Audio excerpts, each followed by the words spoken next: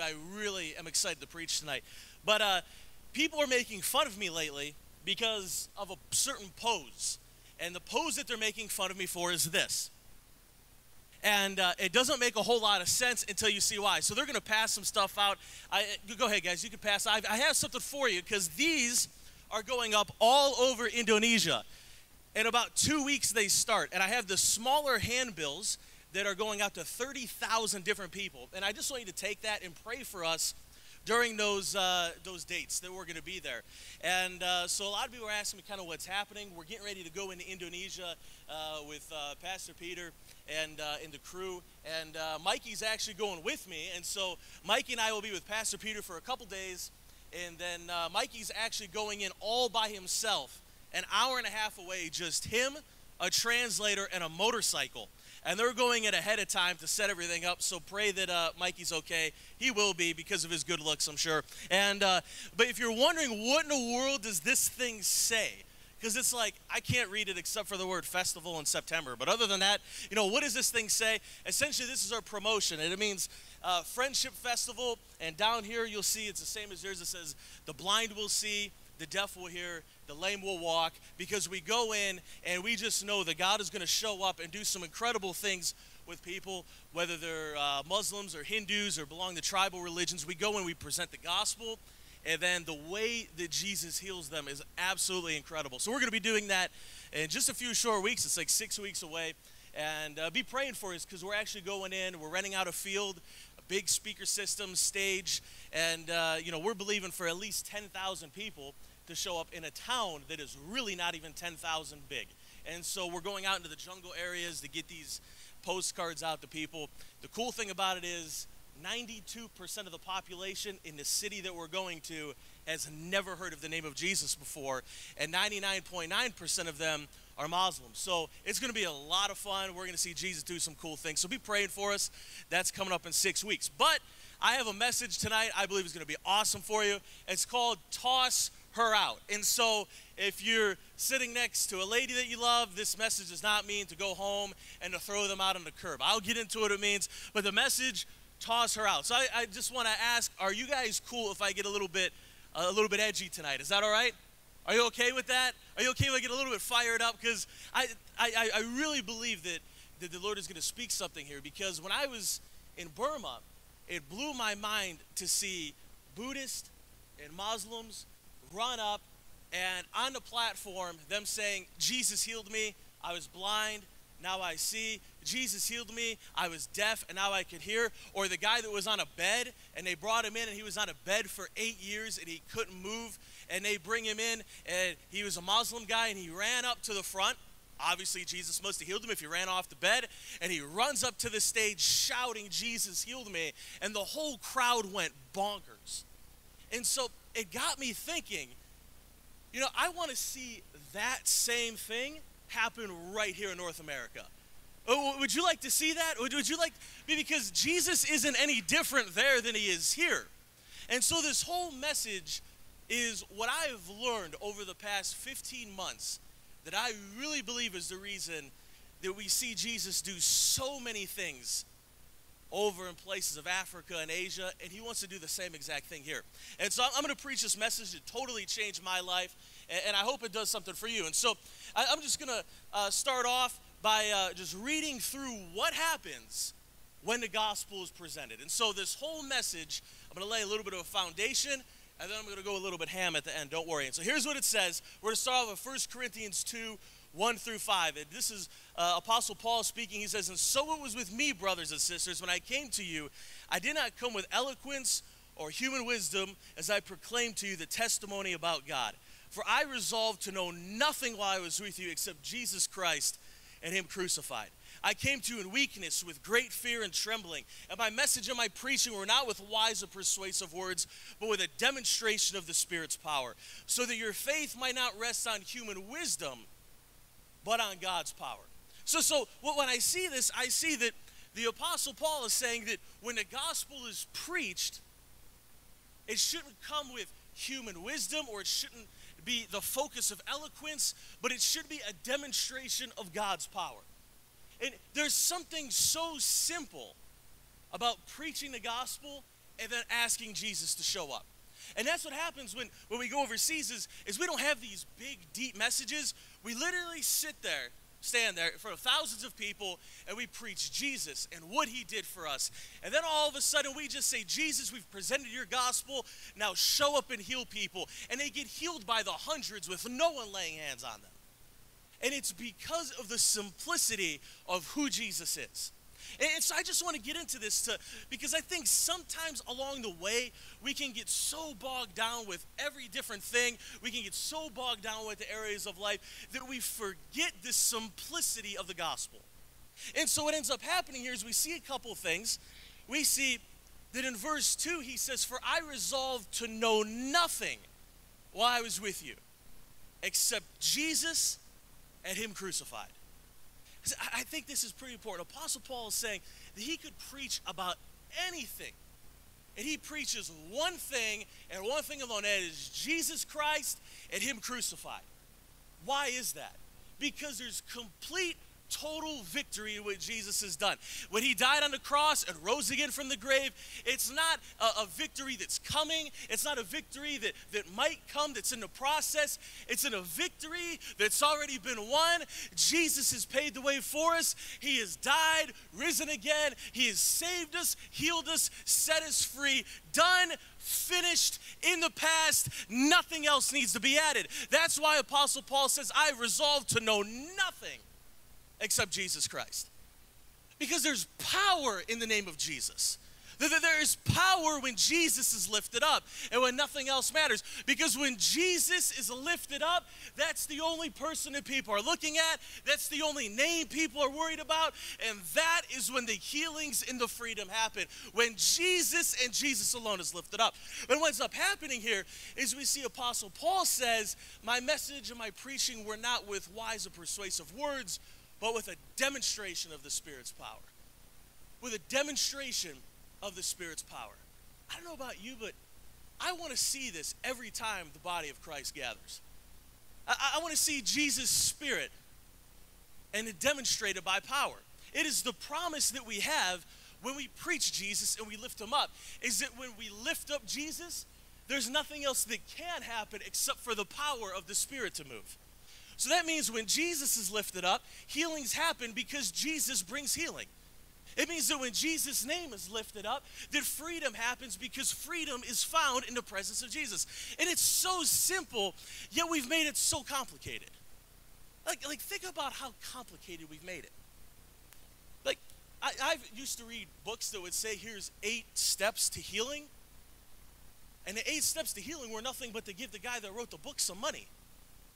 Because the eight steps were complete garbage because the only thing you need to know about healing is Jesus died for healing and Jesus heals today. Like that's not eight steps, that's one thing that Jesus did. So so so why am I worried about the 8, 12, 15 steps to to a new better life? There is really no step except to know Jesus and, and know Jesus alone. And so it's the simplicity of the gospel that changes lives. It's the simplicity of it. And so it got me thinking about it. What is the true gospel. Because I think there's a lot of not true gospels running around. And, and the true gospel is really quite simple. I'm not going to go to the verse, but you can go to Ephesians chapter 2 a little bit later. But the verse, or, or, or the, the, the gospel is really this we were dead in our transgressions. Jesus came for us. He freed us, he, he, he loved us, and now He's given us a purpose. And that purpose is to take the demonstration of the Spirit's power to those that haven't experienced it. It's that simple. And so, there's two things that I think that we do that really limit our ability to receive from Jesus. There's two ways that we always overcomplicate. Are you ready for these? Who came in needing Jesus to do something in their life? Anyone? Okay, so, so I'm gonna I'm gonna paint this picture. The first thing that we do is we like to focus on the enemy or the devil and his power. So, so, so we, we, we, love to focus on it. I mean, I used to love to focus on it. I mean, there was nothing more exciting than reading books about demons to me. I just got so excited. Call me weird, but you can call me weird, but you know it's true for so many other people. It's just like fascinating. It's like, ooh, how are we going to overcome the enemy? Ooh, we got to do this thing because like if we can overcome him, then all of a sudden we can overcome what's coming up against us. This is where we overcomplicate it because do you know that you're fighting a battle that doesn't even exist anymore? Like we spend our whole lives fighting a battle that doesn't even exist.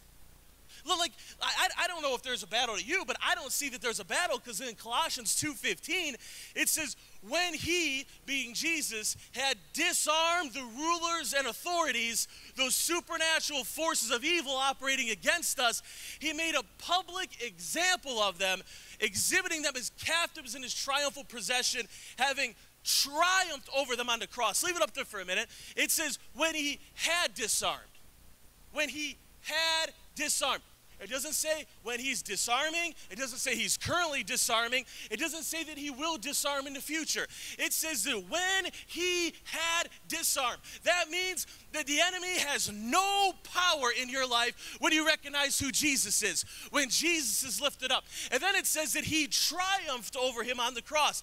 Not that he is going to triumph, not that he is triumphing, that past, sealed, done, it is finished he triumphed over them. You see, we, we, we want to make it so much about the enemy when the enemy is already defeated. So, so, so, so what does that mean? It means Jesus Christ has already paved the way for your healing, for your freedom, for the best life that you could ever imagine. It's found in nothing else other than knowing Jesus. That is one way that we oversimplify it or, or that we overcomplicate it. The second way so people might get a little mad at me because I used to do this a lot. The second way is on our mindset of how life works or how to connect and receive from Jesus. So I'm going to get into this a little bit. I hope, I hope you get something out of this. I believe you will. If you don't, I'm leaving Friday morning, so you can you can come after me. That's fine. And so this is what it says. It says this in Galatians chapter 4, verses 21 through 5 1. I'm going to read through it, and then we'll break it down a little bit. It says, The scriptures say that Abraham had two sons. First off, I want to stop and say, I have an unhealthy obsession with Abraham. Most of you know that because I think when I was here, I preached out of a tent about 14 times the same message because I was always making myself happy preaching it, and I still do. I've preached it three times in Canada already. And it says that the scriptures say that Abraham had two sons one from his slave wife and one from his freeborn wife. The son of the slave wife was born in a human attempt to bring about the fulfillment of God's promise. But the son of the freeborn was born of God's own fulfillment of his promise. These two women serve as an illustration of God's two covenants. The first woman, Hagar, what a bummer of a name, represents Mount Sinai, where people received the law and enslaved them. And how Jerusalem is just like Mount Sinai in Arabia because she and her children live in slavery to the law but the other woman, Sarah, represents the heavenly Jerusalem. She's a free woman, and she is a mother. It says, And you, dear brothers and sisters, are children of the promise, just like Isaac. But you are now being persecuted by those who want to keep the law, just as Ishmael, the children born by human effort, persecuted Isaac, the children born by the power of the Spirit. But what do the scriptures say about that? Get rid of the slave woman and her son, for the son of the slave woman will not share the inheritance with the free woman's son. So, dear brothers and sisters, we are not children of the slave woman, we are children of the free woman. So, Jesus Christ has, free, has truly set us free. Now, make sure that you stay free and don't get tied up again in slavery to the law. So, at first glance, this doesn't look like a whole lot because we're like, well, we're not Jewish, so we're not really doing the law. Like, there really is no law today, we're free. But I beg to differ a little bit. I, I, I think that a lot of us get caught up in this having to do certain things to connect and to receive from Jesus. So I, I, I, see a lot, and I used to do this. Like you could ask people that were around at Elevate for years, I, I would preach like these things, and, and I realized that that, that I believe God showed up and moved because of mercy and grace, but, but, but I believe that not all of it was right on because we really don't have to do anything because Jesus has already done it. And, and so what ends up happening here is I, I want to share with you in just the next few short minutes what I have realized and what, I, what has popped out at me as far as being free and experiencing Jesus to the fullest all the time. And, so we see this in this that that there's two different battles going on here. And we're just going to break down a few of these verses. The first one is I want to look at Galatians 4 22 through 24. It says, The scriptures say that Abraham had two sons, one from his slave wife and one from the freeborn. And the son of the slave wife was born in human attempt to bring about the fulfillment of God's promise. But the son of the freeborn was born as God's own fulfillment of his promise. These two serve as an illustration of the two covenants. There's two different mindsets here. The first one, if you notice, it equates, it doesn't say the law, it says humans' attempt of the fulfillment of the promise. My real question for you is if you've been asking God to do something for a long time, how, how much have you been beating yourself up trying to make it happen? Are you tired of it already?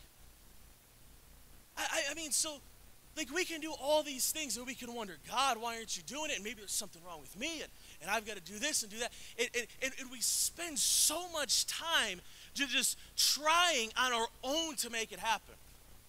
Like, like we just try so hard. Like, I'm not saying that hard work is not good. In fact, without hard work, nothing good is going to happen. But what I am saying is there's a difference between hard work and trying to do everything on your own just this just this idea that that I have to do this this this and this for for God's fulfillment of the promise and in all reality when we're doing that we're saying God you're not good enough to be God on your own you need me to help you and so and so what ends up happening here is is we get so caught up in this in this trying to position ourselves in the right place at the right time under the right circumstance for Jesus to look on us and say today's your day and it gets tiring and exhausting. It is brutal and not fun. And in the middle of all that, if you're like me, you're just like, this is this can't be right. But then there's the other mindset. And the other mindset says that it's God's own fulfillment of his promise of grace. So, so we see that there's human effort and then there's grace grace doesn't make sense. Grace doesn't make sense that, that God would just uh, be there and fulfill his promise on my life because, because of who he is, no, no, no matter wh- what's going on with me. It doesn't make sense. We're, we're, we're, if we're honest, which of the two are we a little bit attracted to? I'm attracted to human effort. You, you, you can judge me if you want. I'm so attracted to human effort. Why? It makes me feel good when something good happens because of what I did. Like, like we, we feel like we're part of what God's doing. Like we feel like we get to be a part of this thing. Like, like, like I, I, I fought that battle on my own, and I, look at me right now. And then, oh, like, like I'm going to fight it so that I can help other people fight it. That's the mindset that I have. But that's not the mindset that Jesus has. The mindset of Jesus is God's own fulfillment of the promise instead of human effort. I want you to think about the thing that you've been asking God to do, the, the, the healing that you're believing for, the, the, the, freedom that you're asking for. Well, what is it that you're believing God to do? And you have worn yourself out time and time again with the human effort of trying to make a promise happen, and it seems to not be happening. So that didn't work, so we're going to try something else. And that didn't work, so we're going to try something else. I, I don't know about you, but it's tiring, it's exhausting, and I'm done with it. And then there's the fulfillment of God's own promise. The two differing views. When you take the view that God will fulfill it because He said it, and there's nothing I have to do to make God fulfill His own promise, that's when God fulfills His promise in your life. And so what ends up happening here is, is, but we're attracted to the one. We're so attracted to the one. So, so, so what, does the, what does the Apostle Paul say here? He, he says this in, uh, in, in, in, in verse 29, I'm getting so excited, I'm stuttering like a fool. It says this It says, But you are now being persecuted by those who want to keep the law, just as Ishmael, the child born by human effort, persecuted Isaac, the child born of the, the power of the Spirit.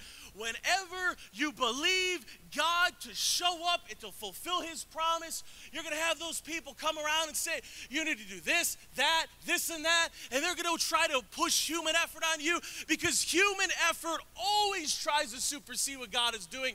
This is what the Paul says. And so you, we have to understand that when we believe God will fulfill his own promise in our life, that grace has come for us, his name is Jesus. When we believe that, people will come against us because they say, well, you have got to do this and that to receive from Jesus. And so we were consumed with the two different varying viewpoints.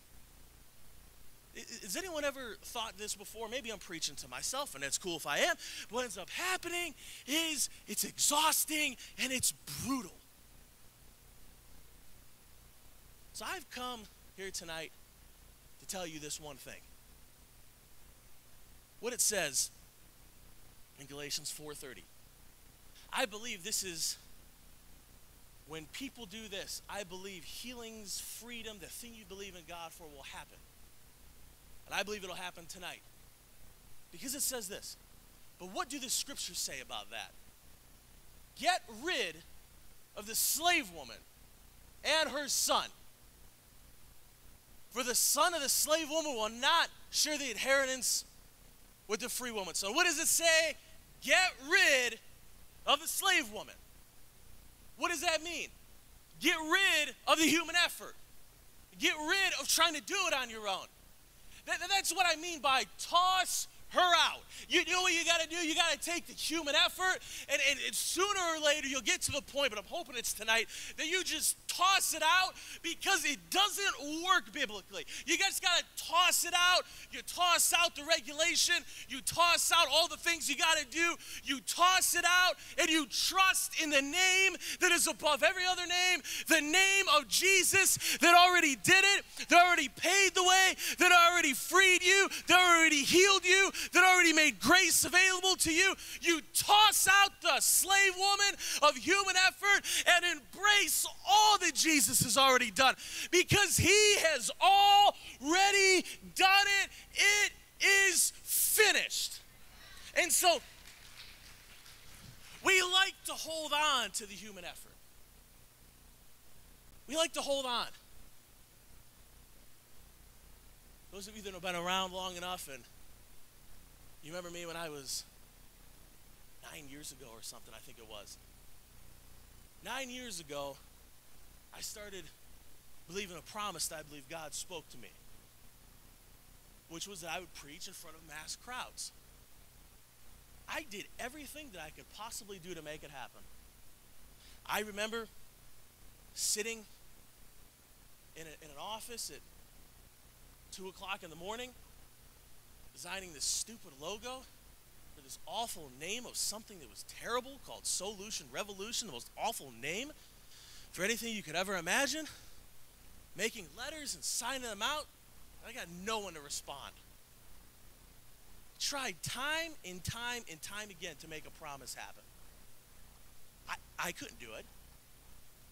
And when I finally gave up on trying to make it happen and asked Jesus to do it, it wasn't much longer that everything happened. And then once I got to Canada, then all of a sudden, you know, I, I didn't, I didn't really spend a whole lot of time with Pastor Peter. I, you know, see him and hey, how's it going? And I would get all excited when, you know, he'd invite me over to swim in the pool, or it was just like, ooh, this is exciting, right? And thing after thing after thing happened, but I gave up trying and I allowed God to do his thing. Little did I know that a year into being in Canada, Pastor Peter would ask me to come move up to his house. And, and, and I see him and I have dinner with him like four or five times a week. And, and, and, and, the, very thing that, that God spoke to me that I tried to make happen so much on my own all of a sudden, when I just trusted Jesus, and it's hard to trust Jesus sometimes, I get it. Like, we, we all want to do something because it feels a little helpless when you don't.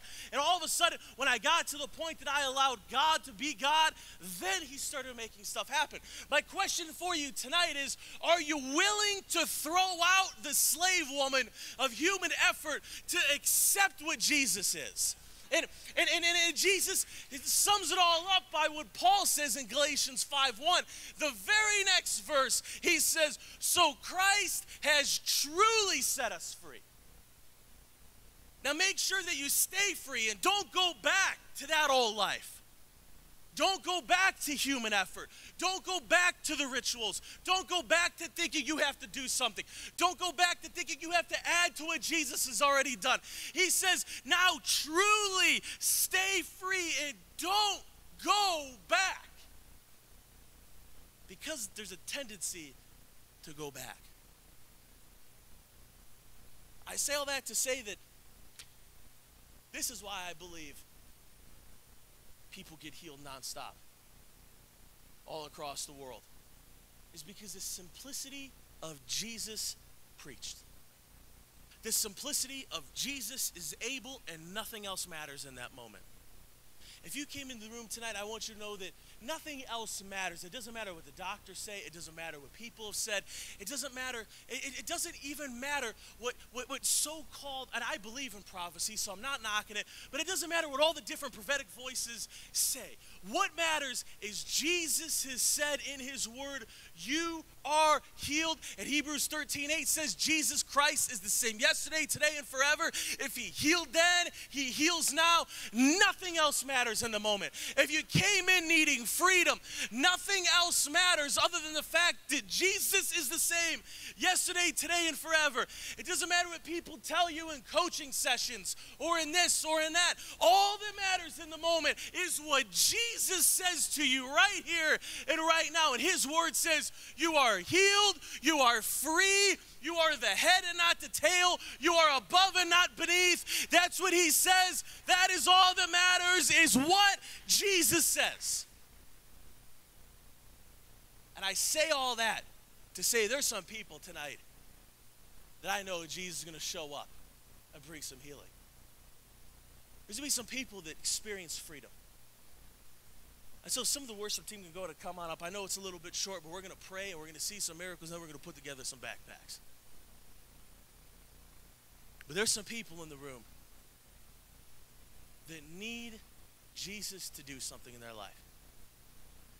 I want you to know He's here tonight. He's here. We don't have to ask Jesus to show up right now because he's already here right now. With two or three of us gather, he's there. And so we know that when Jesus is here, he wants to show up. And so if you need a healing in your body, you need freedom in some area, I want you to just pop up on your feet where you're at. And I want you to come forward. That's you. Jesus is your people, come forward. I ask that you would show up like only you can, Jesus.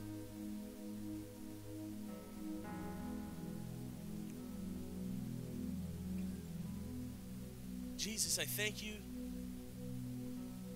that you are the healer. You are the one that sets free. And so, Jesus, your gospel was preached tonight, and so I ask that you would heal your people tonight. All across this room, if you need a healing in your body, in your physical body right now, lift your hands up to heaven right now. I'm going to pray for you. In the name of Jesus, we take authority over every sickness, every disease, and every malformity. We speak to every spirit of infirmity. And we say, in the name of Jesus, come out and be healed now in Jesus' name. Now move your part of the body around like that's been hurting you. Move it around right now. Move it around right now. Jesus, we thank you for healing.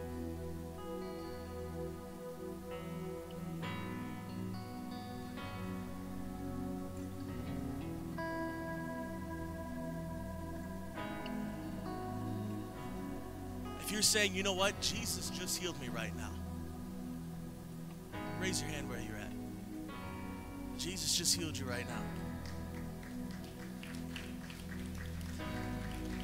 Mi- Mikey, find out what happened here. Find out what happened here. There's, there's some other people in the room. You're saying, I don't know if this is, I don't know if this is for me. There's several people in the room with knee issues. Knee issues. Who, who, who is that with knee issues? Right, if you have knee, if you have knee issues, come up to the front right now. Come up to the front right over here. I'm going to pray for you. I, I like like run to the front like you've already been healed, because when Jesus reveals it, He heals it. So, so, so just come up. Just come, if that's knee issues, right up to the front. Right up to the front right now.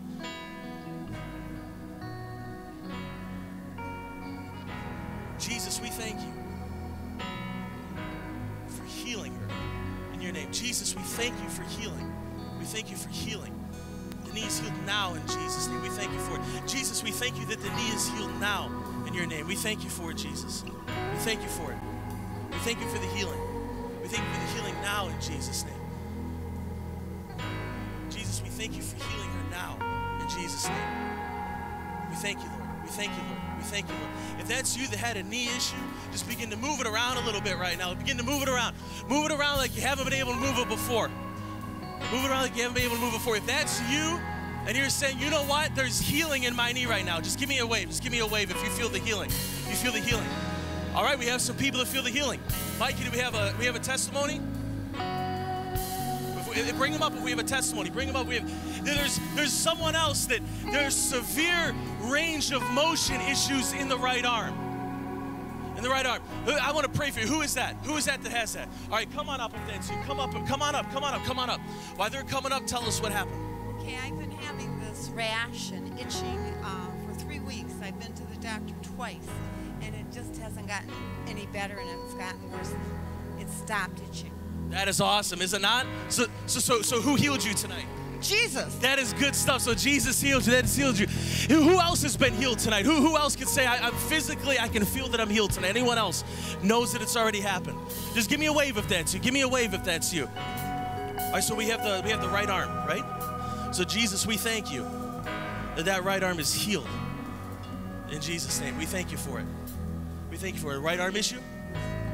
Jesus, we thank you. You said both arms. Jesus, we thank you. Begin to move it around. Begin to move it around. Begin to move it around. Jesus, we thank you for full range of motion coming back.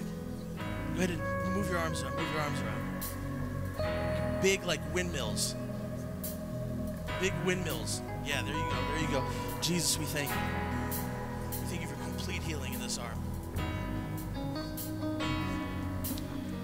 Jesus, I can feel what's happening here. And we need a creative miracle.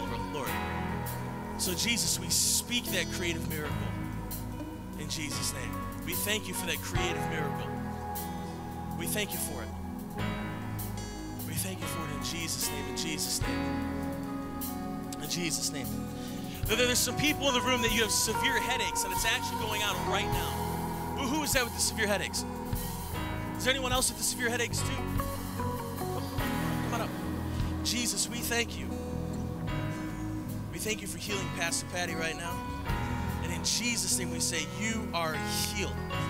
We thank you for it in Jesus' name. In Jesus' name, we thank you for it.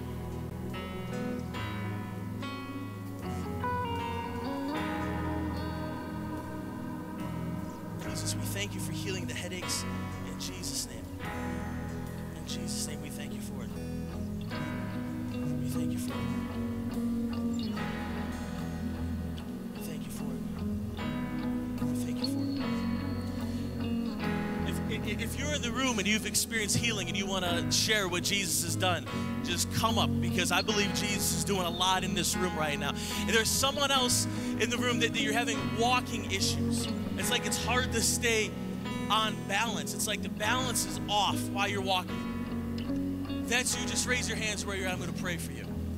See your hand there? See your hand over there? See your hand there? See your hand there? See your hand there? In the name of Jesus, we thank you for balance coming back and for gait to be stable.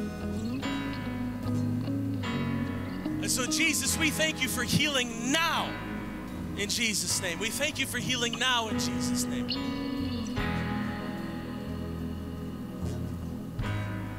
This is a word that I believe is from the Lord. And that is this that just as you've witnessed so many different people come through and pray for miracles and see them happen, same is for you.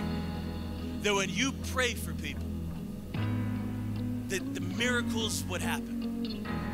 Because it's the same Holy Spirit that lives in me, that lives in someone else, that lives in you. And if you've been having a little bit of fear to believe God to show up when you pray for the miraculous, just raise your hands. I'm going to pray for that fear and anxiety to go. Jesus, we thank you for every hand that is raised, that you've called them and everyone in the room to lay hands on the sick and they would recover, to speak to illnesses and they would be healed. Jesus, we thank you that in Mark 16 it says that every sickness would go and the demons would be cast out where we go because of you, Jesus. And so, Jesus, I pray for boldness and that fear and anxiety and worry would go when we step out to move in you, Jesus. We thank you for freedom across this place. In your name we pray. Amen. Amen. Amen. Amen. Jesus is awesome, isn't he? No, I mean, is Jesus awesome in this place?